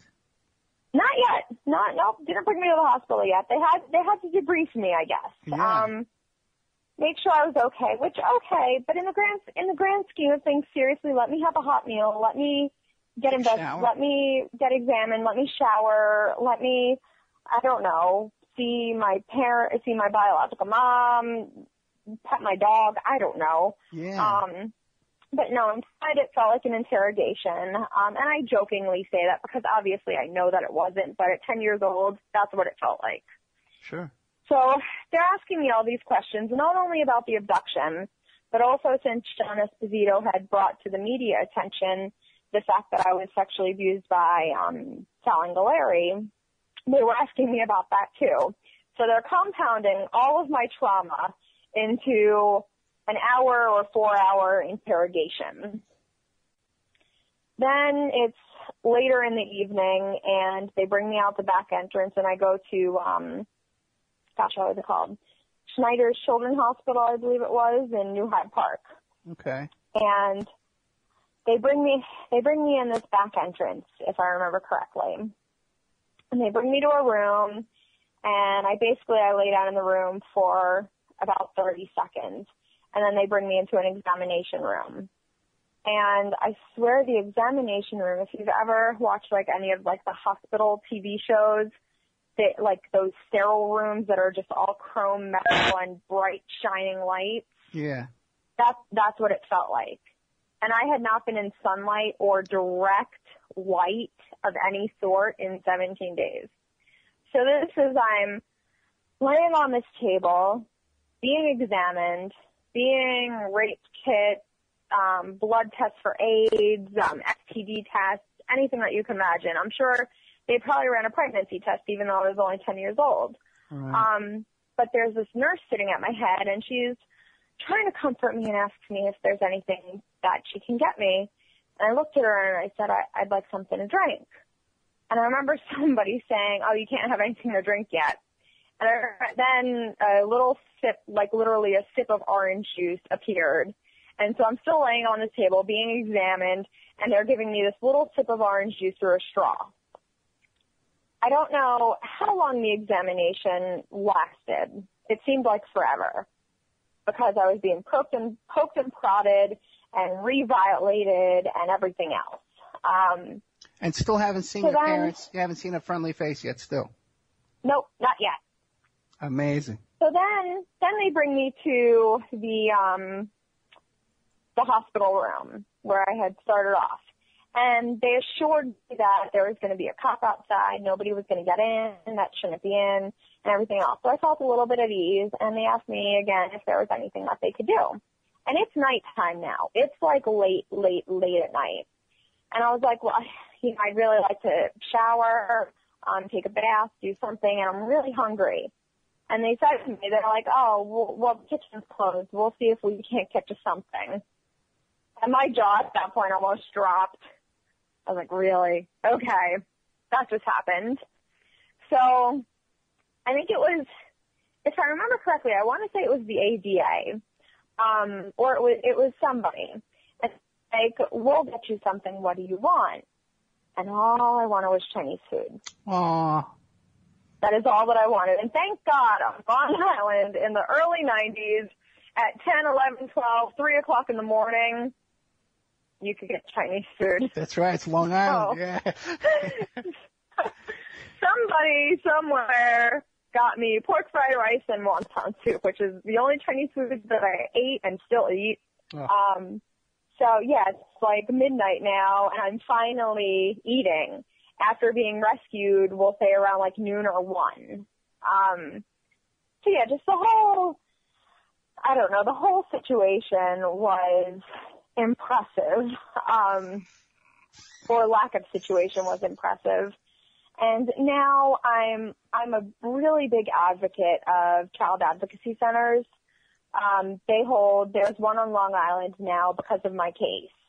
Um, and child advocacy centers just hold a really special and close place to my heart because there are these places that kids can go to not only report abuse, but it's a, it's a kid friendly environment. You go, you tell one person your story. There's a um, usually a detective and a therapist there, and then there's a kid-friendly examination room. Right. Which is sad that they have to exist.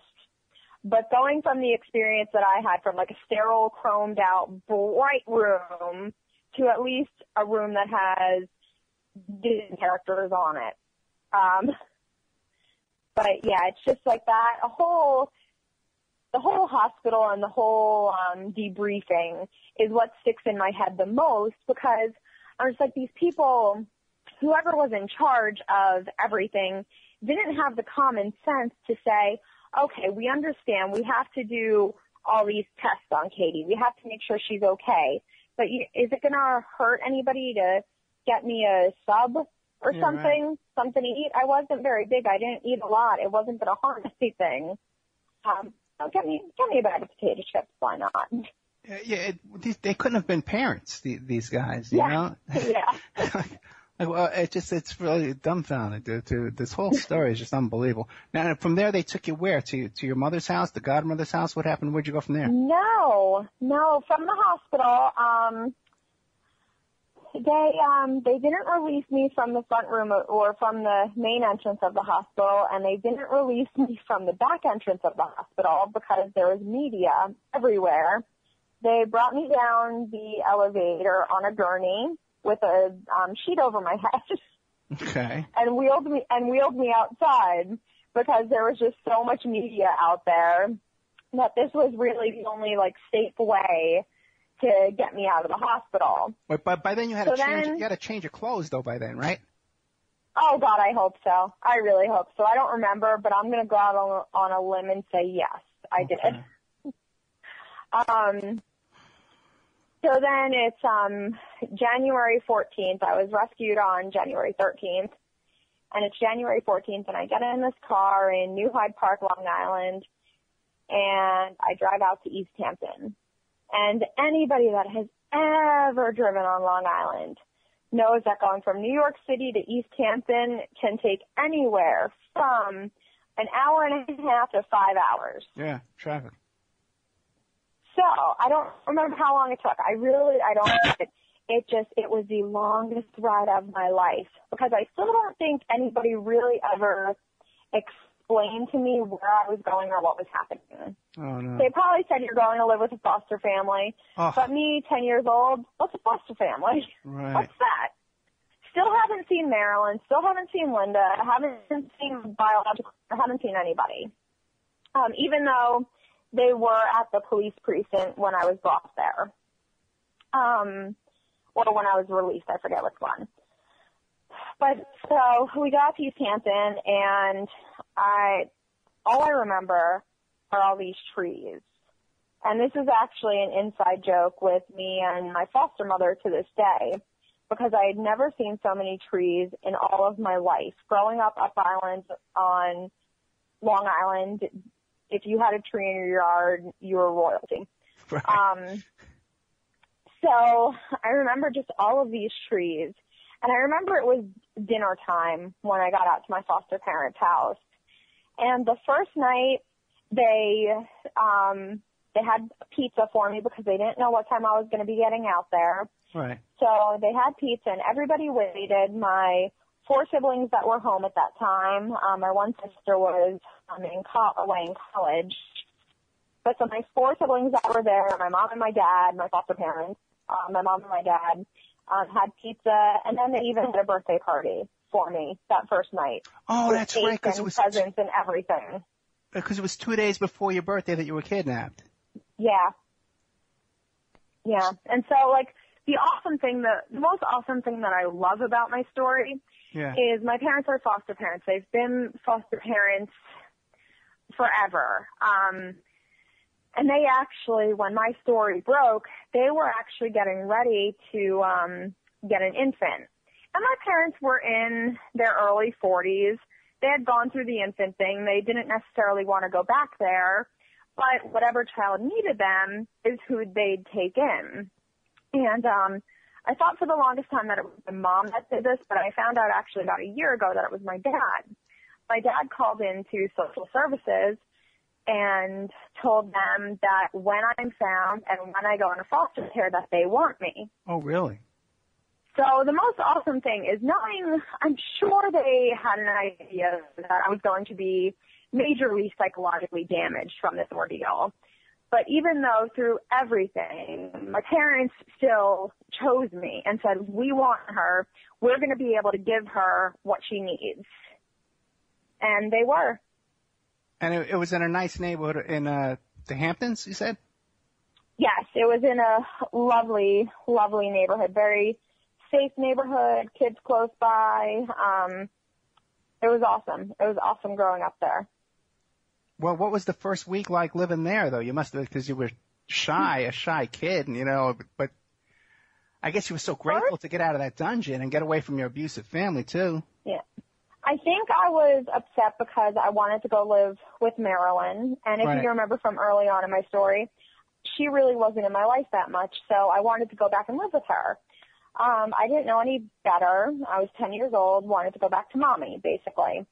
Um, but the first week, I remember I, my foster mother stayed at home with me. We went shopping for sneakers. We went shopping for some clothes because I had nothing. Um, friends from my parents' church brought clothes by for me, um, and everything. And it was just, um, I think I started, I started therapy pretty quickly. Um, I had meetings with the DA from very, very early on. Um, I wasn't allowed outside because there was media right outside the house. Um, so my parents were trying to protect me. So it was very, like if I had to go outside to get in the car, it was a very quick process. You like running to get in. Um, but my parents did an amazing job at protecting me and keeping me safe and just making me feel that everything was going to be okay. Um, I will say my poor mother, um, somebody told her that she needs to be careful because I might try to run away. So I truly don't think that for the first year that I was living there that my mother stuck. Oh. now, what about when you started going to school? You must have been like a little celebrity there, right? Um, they actually, the day before I started, um, they had an assembly and basically told the kids that I was going to be starting there and that nobody was to ask me a single question. Oh. So everybody knew who I was, um, and nobody asked me anything. And that was awesome to be able to go into school. It was scary. I'm going into a new school, all new kids, don't know anybody. Um, and they put me in a, in the classroom with my foster brother. So at least like I had somebody that I knew. Right. And um, my fourth grade teacher was amazing.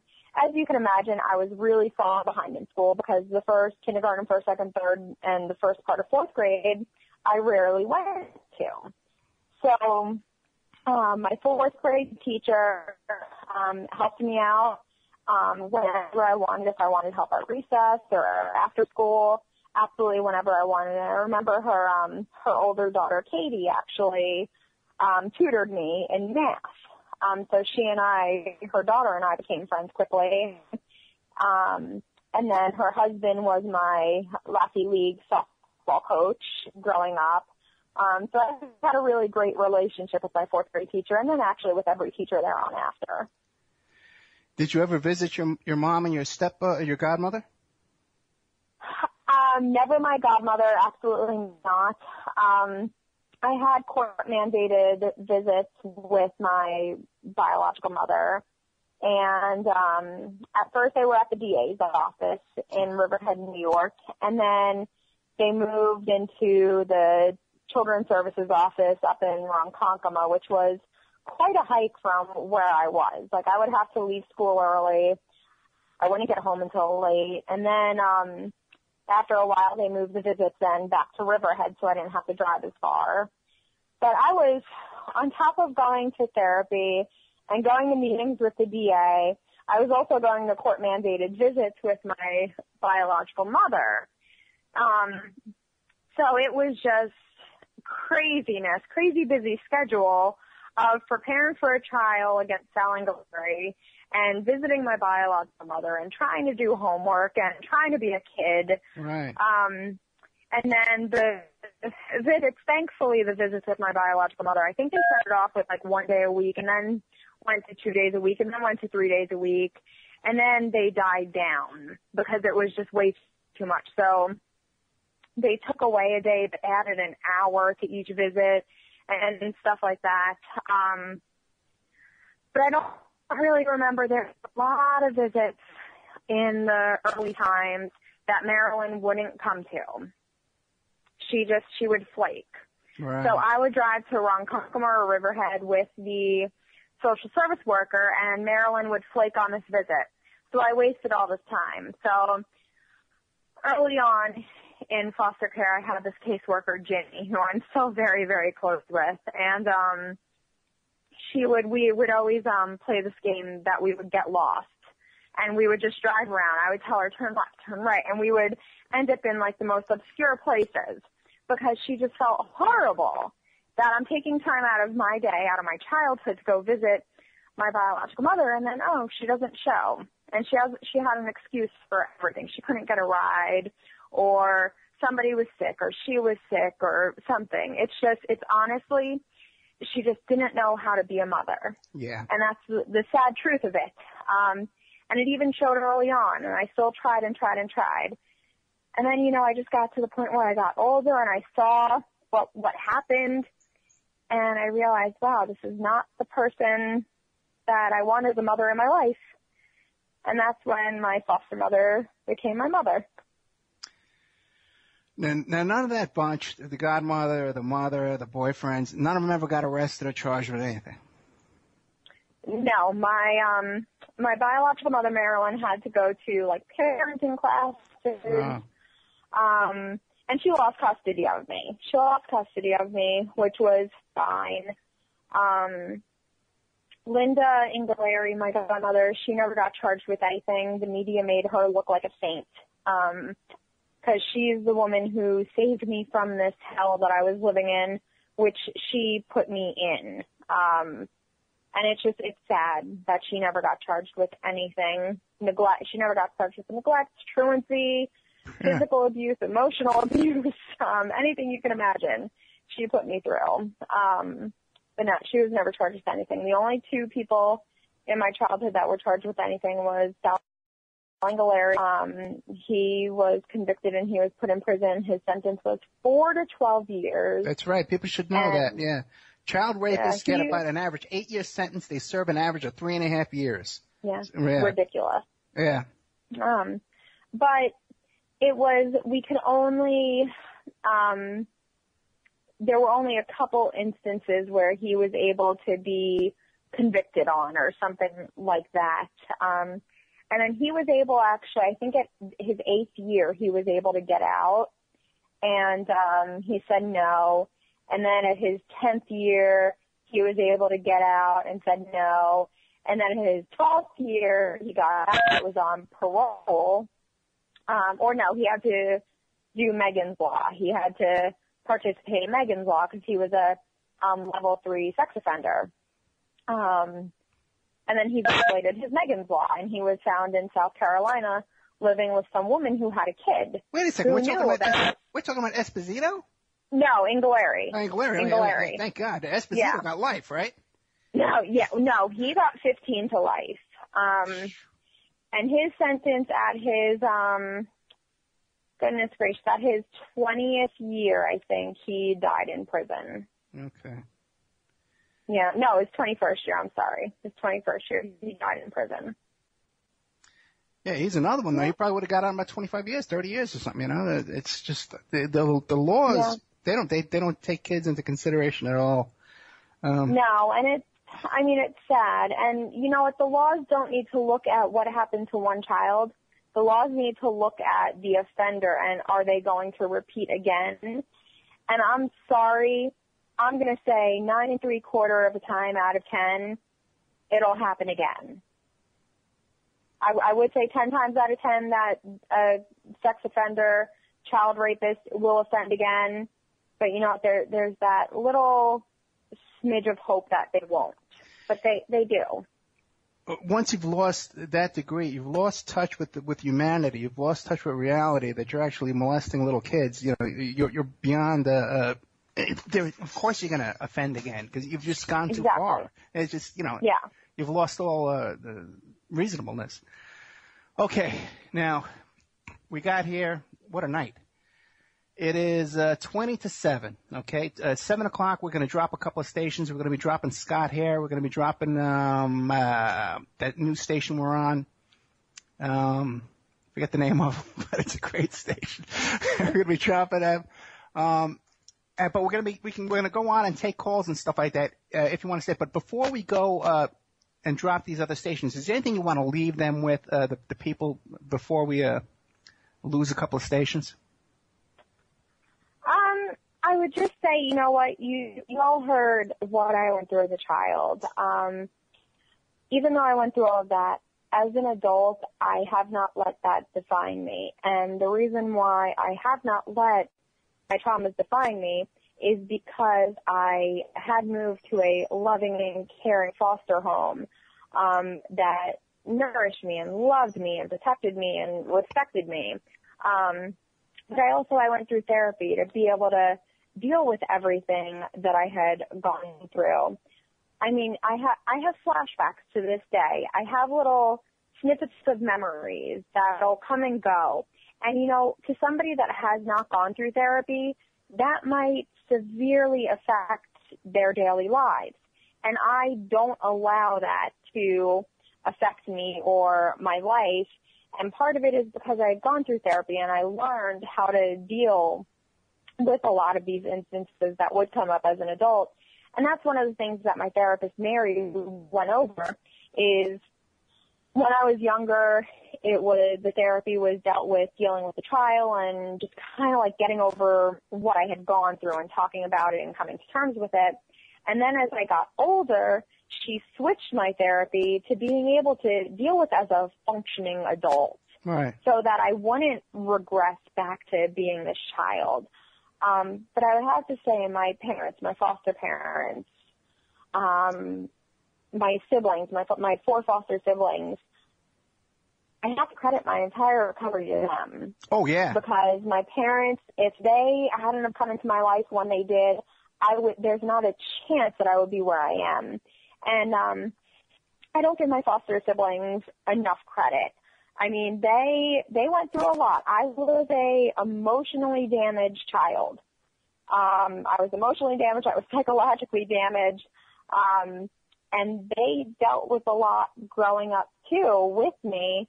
And um, you know, I have such an amazing relationship with them all now, and it's amazing to see where I started off when I moved in with them to where we are now. They're some of my best friends and some of my confidants. And it's all because of them that I'm a functioning adult. Well, did you were you like a defiant teenager? Were you like a misbehaving, acting out? Um, I Not that wouldn't really say defiant. I mean, I definitely I loved my foster parents as any though like normal teenager would do. Um, my foster parents had a strict rule on dating, so instead of saying I was going out on a date, we would go out with a group of friends. Um, Right. and then my mom would find out about it and I would be grounded for a month.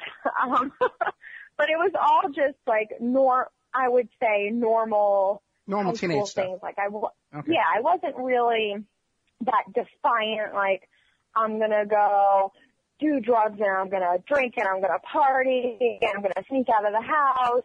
I was scared of my parents. So you never did any. You never had a drug. Never had a drug phase, or drug phase, or drinking phase, or anything like that. Um, I tried marijuana two or three times, and then I was like, "Why does they do this? This is so not for me." Um, that was no more than times. And you know what? Part of it was because I was so scared of not only letting my parents down because they had helped me so much, Right. I was also scared of them. And you know what? I'm okay with admitting that I was scared of them. Not because they were scary people, not because they ever hit me or anything else, but I just, I didn't want to lose their trust. I, they had done so much for me that I just, I didn't want to lose it. I had lost so many people in my life that I didn't want to lose them. Um, so no, I think probably my first drink was maybe when I was 18 and it was every now and again because I was like, my mom's gonna smell it on me, and I like none of my friends. I was like, don't you come near me if you're drinking; they'll smell it on me. um, so I never really went through that rebellious phase. I think the most rebellious thing that I probably did in high school was I had a serious boyfriend, and it took me a little while to tell them. Right.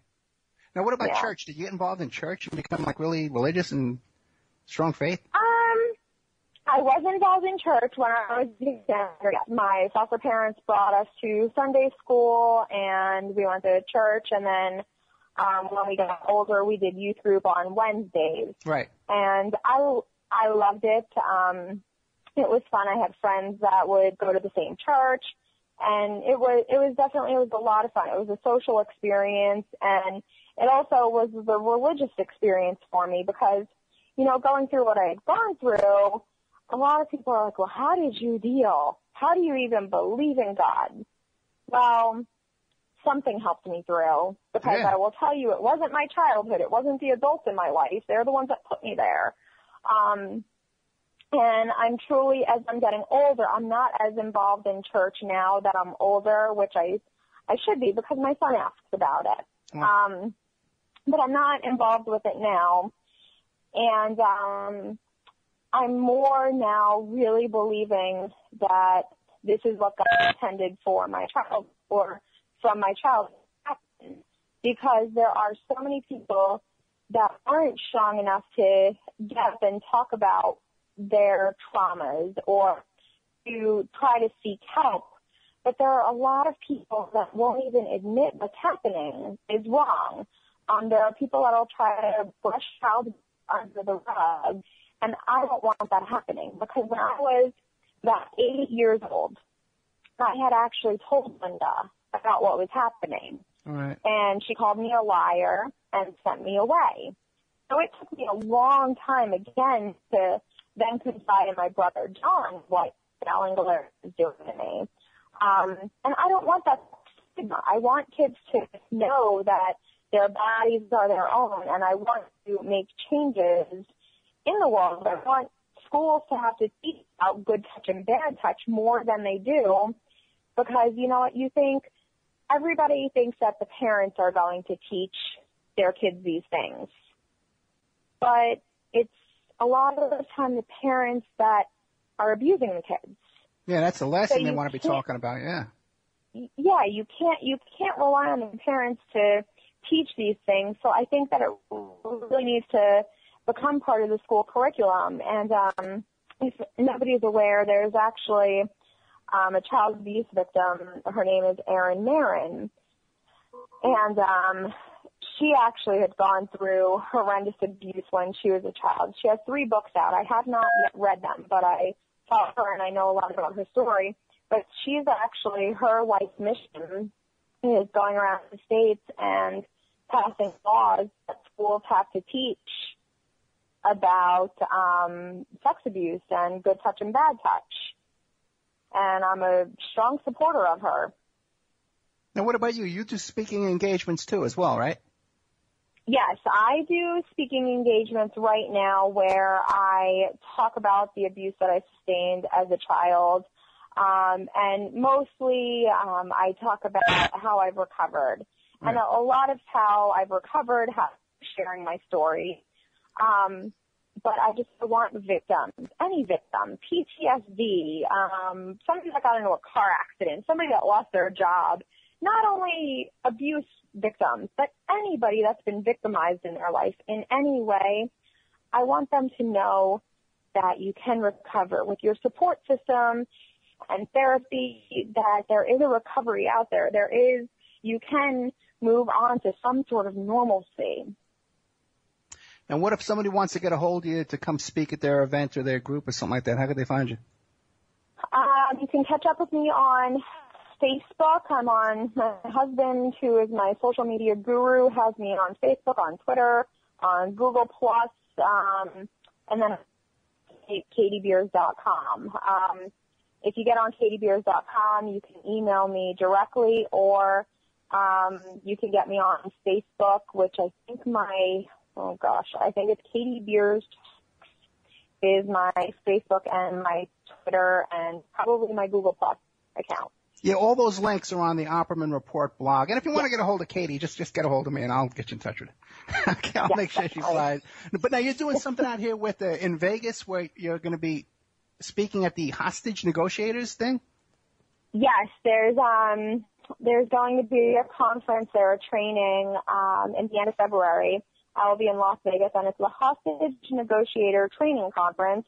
So I will get to add to my ever-growing resume that I can be a course lecturer. Very cool. Yeah, very cool. yeah. No, that is very cool. I'm excited. Okay, hey, listen. So now, I'm uh, very excited. Do you want to hang around another hour, maybe, or a half hour, and take some calls? I actually have a five and a half year old and a three and a half year old that need to get to bed and probably a husband that needs help doing so. oh no, you didn't get up to bed yet? Oh no, I'm, so, I'm sorry. They're downstairs watching a movie right now. oh. Well, it's okay. their Friday night. I got you. I got you. Okay, so listen. So we only got about five, uh, five, seven minutes yep. left, man. What, what do you want to leave us with? Uh, uh, you know, if if you're the victim of abuse and you don't know where to turn to, contact me, email me, message me. Um, if you need help with the direction as to where to go, contact me. Um, if you've told somebody about the abuse and they don't believe you, don't get discouraged. Tell somebody else. Tell somebody, tell somebody until they're going to listen to you. That was part of my problem growing up is I told a trusted adult. They didn't believe me, so I shut down. And I let the abuse go on for at least another year. Um, but now I'm definitely shut from the rooftops. Um, and a big thing is, is you, is if you don't have, if you've gone through a trauma and you don't have a good support system, you need to get a good support system. That is the only way that you are going to recover. You need to weed out the people and get good ones. You know, I tell you something. One thing that was a real blessing in your life is that this did happen to you on Long Island, and then they took you over to the Hamptons, and you had good therapists. Because I tell you, in the rest of the country, yes. they they don't have good therapy. They don't have good therapists. My daughter's shaking her head right now. you know, and and and the child protective system in the rest of this country is not like it is uh, back east. You know, in a in a wealthy no and you had that good school and those good caring teachers and all that stuff. Thank God. Uh, but but you must have been praying when you were down in that basement, right? Oh, definitely, definitely. Yeah. I was in sort of relief at that point, regardless of what it was, whether I went back and, you know, at that point when I was abducted and being held in that dungeon, I would have been happy to go back and live with Sound because at least I could have fresh air and sunshine. Right and being able to use the bathroom. Um, there were just so many things that I was deprived of that you don't even think about. You're like, oh, this poor little girl locked in this underground basement for 17 days being sexually abused, but that wasn't even the extent of it. I couldn't talk to anybody. Right. I had no sunlight, no, nothing, nothing, no, no fresh air. Um, all these things that I was deprived of that are just basic necessities. It's the little things like just being able to walk out your front door, go to the bathroom when you want to, do these, yeah. these those little. Yeah, because I I know a lot of guys that had to go away prison. I know a lot of guys came out of prison, you know, and uh, it's you'll you'll lose everything. And I can just imagine when it's being yeah. done. Do you ever have like panic attacks and just like a, if you're in a, like a, a closed room or something like that, or on a ride at Disneyland or something? Um, for a long time, for a very long time. Um, when I was in foster care, the um, TV TV room and like the hang area was in the basement. And right. so for a long time, it was hard for me to hang out down there by myself. Like I would go down there if one of my siblings were down there, or if my mom was down there.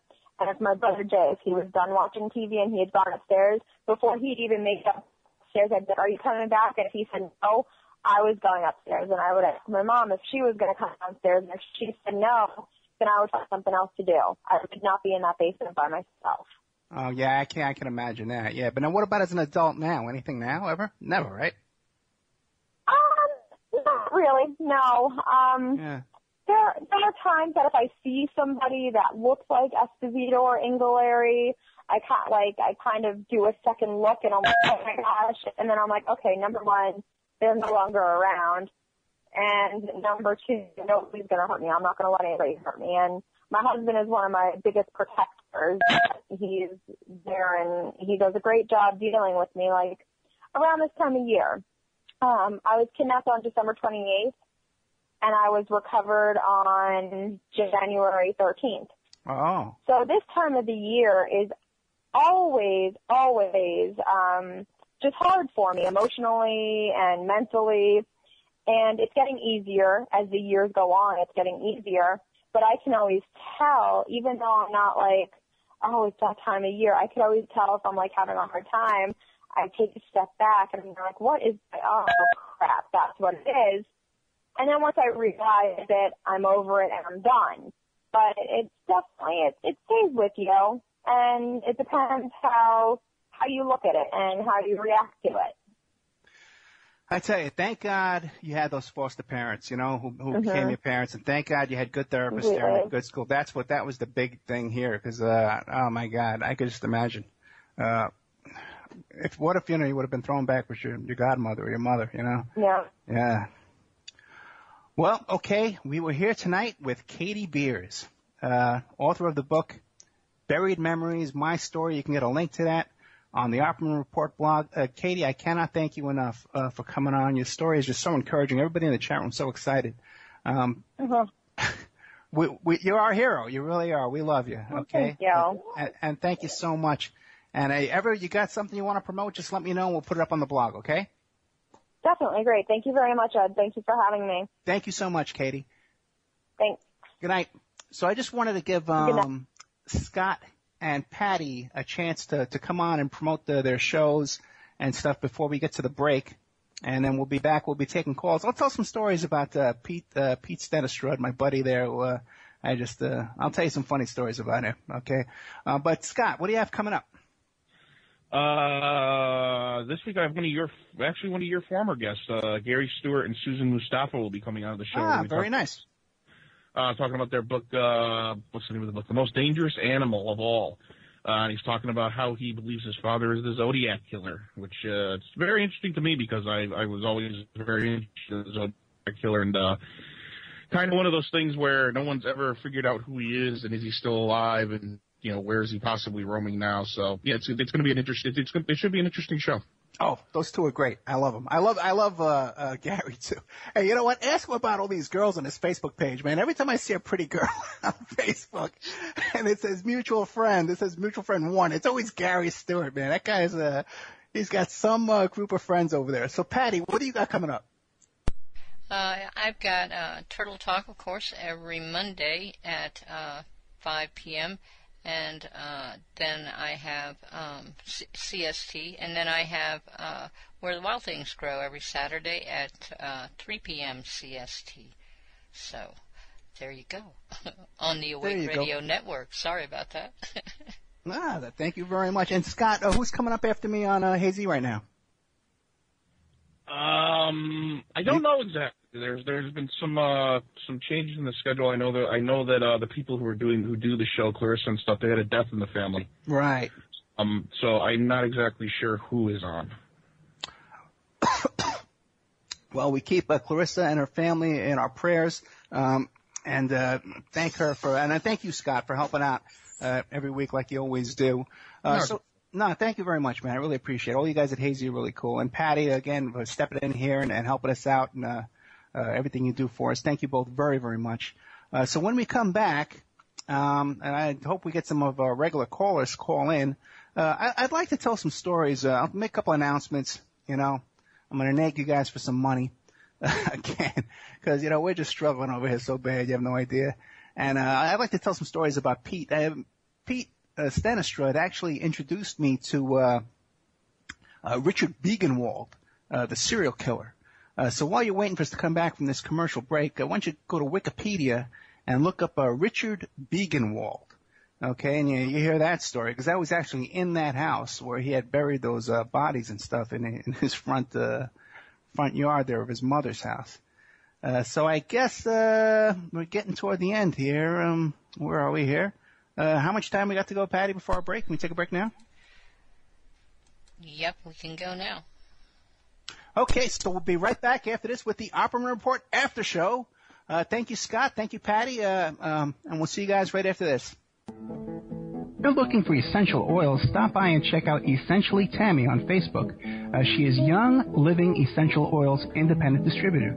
These 100% therapeutic grade oils help support the body's natural functions. You can click on her website posted on Essentially Tami, that's T-A-M-I, uh, to see the current deals and check out the benefits of oils such as frankincense, joy, valor, lemon, thieves, PanAway, and many more.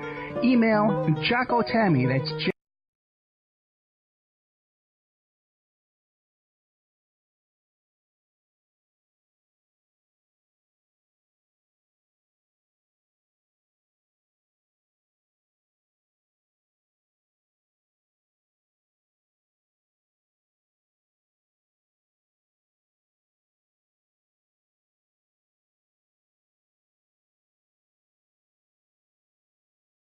Uh, Pacific West Bamboo, your number one source for timber, construction, and craft grade bamboo poles, plants, products, and more. They specialize in eco friendly reclaimed wood products uh, for the home and garden. They're located in Portland, Oregon, servicing the Northwest for over 10 years. They can be reached at 503 839 8126. That's 503 839 8126. Her Facebook page is Pacific West Bamboo. They can and do ship nationwide, and they're currently getting a new line of bamboo flooring, veneers, and laminates made from Guadua bamboo, one of the world's strongest bamboos, grown and produced and manufactured in Central America using only economically and environmentally friendly practices and standards.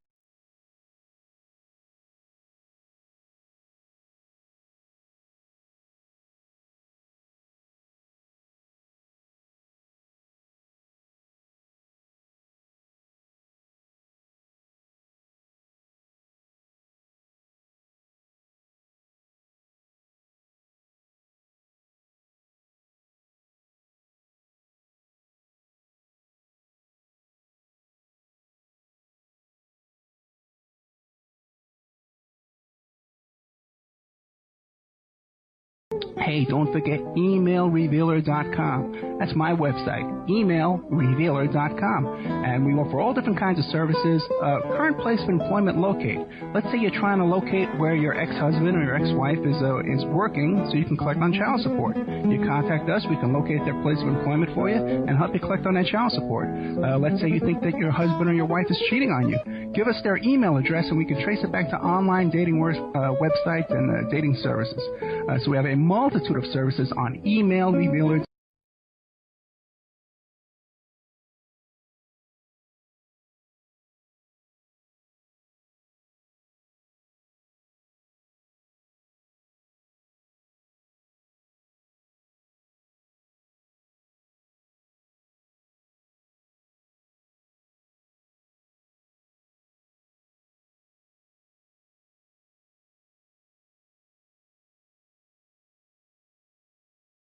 in Guerrero, Mexico. They want their men to come back, so they've written these beautiful love letters and they've put them all in this beautiful coffee table book. Uh, first, the letters are written in Spanish, handwritten. You can see pictures of the people writing the books, and then it comes